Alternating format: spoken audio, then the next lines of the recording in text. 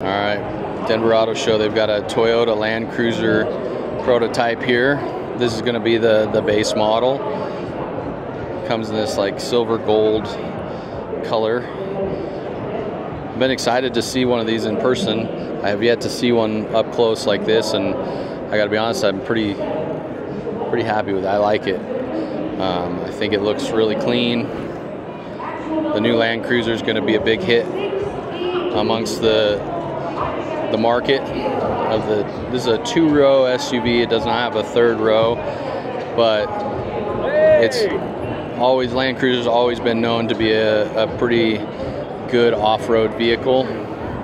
And I think this one's set to to be the same.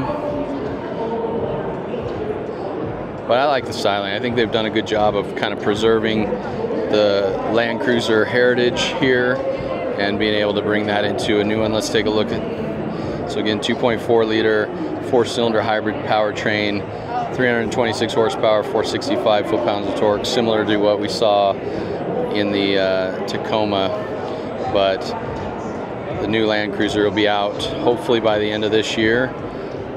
And I think it's going to be a, a pretty popular offering. So 2024 Toyota Land Cruiser.